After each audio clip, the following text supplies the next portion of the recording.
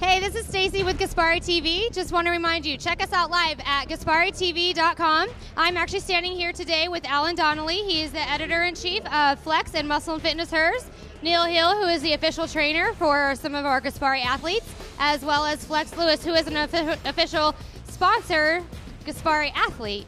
I'm just going to ask you guys and let you rap about what you thought about the 202 that just got done with uh, prejudging today and uh, see what your comments were on it. Neil? Uh, personally, I think that's the best 2-2 lineup I've seen. You know, with uh, the Olympia coming to the stage as far as the 2-2 competitors com- uh, concerned, uh, the lineup was exceptional. That top four was, you know, a really, really stacked lineup. What do you? What, what are your thoughts?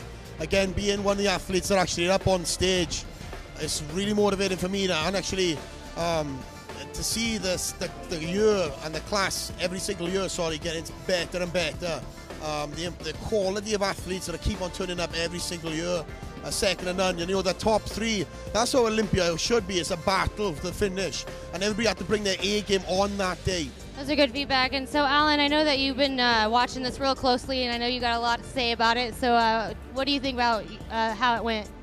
Well, I mean, those guys pretty much said it all. You know, it's a very competitive class, a very deep class. When a guy like Eduardo Correa is fighting for third and fourth, I think that speaks volumes for just the quality of competitor in the 202 showdown. You know, it's a battle right now between David Henry, Kevin English.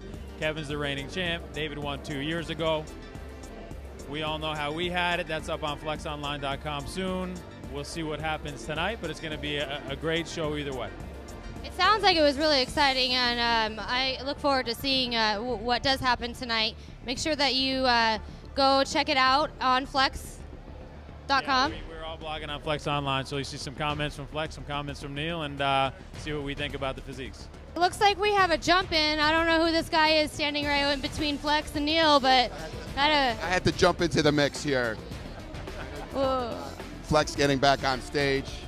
Now here's a great bodybuilder, and you know he took some time off and we're excited for him to give his debut in the British Grand Prix. I think there's a lot of new things that are happening for for Weider. There's a lot of new things that sounds like happening. Congratulations on your column and and letting it get released, and for you and some time off. I think we're all really excited about seeing all these things that are coming about, and I appreciate you guys coming out and. Uh, well, we just got to get Flex ready, get him back in the gym doing more 100 pound front raises with Rich like we did uh, about a year and a half ago. I think he'll be all set. I think we should see uh, have you guys drop and do uh, 25. We can have someone sit on your back and see how many push-ups you can do right now, huh? Well, them days are gone. I, ain't, I, I, I, think you're like this, Neil, and you. I don't mind doing Neil, but I ain't doing this fatty. I'm the lightest, best, best looking though. Oh, you're what? I'm the lightest, but the best looking. You're the lightest, but best looking. All right, all right, all right. Sounds good.